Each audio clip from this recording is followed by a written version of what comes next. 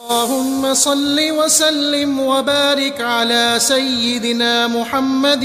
صلاة تكون لك رضاء ولحقه أداء. حضور نبی کریم صلی اللہ علیہ وآلہ وسلم نے فرمایا ہے کہ جو کوئی ہر روز تینتیس بار یہ درود شریف پڑھے گا، مرنے کے بعد اللہ اس کی قبر اور قبر انور